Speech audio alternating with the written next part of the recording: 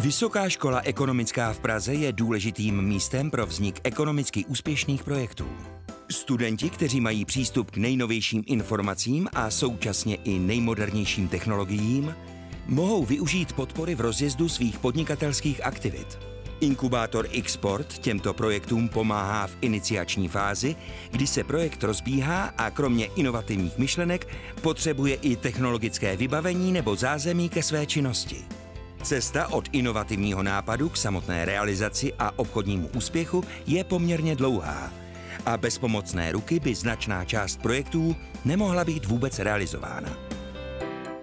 Jmenuji se Noema Hybka a jsem PR a marketingovou manažerkou podnikatelského akcelerátoru Vysoké školy ekonomické v Praze Exportu VŠE. My v Exportu pomáháme inovativním nápadům na jejich cestě k úspěchu. Brázdíme vody biznesu, propojíme studium s praxí a budujeme startupovou komunitu.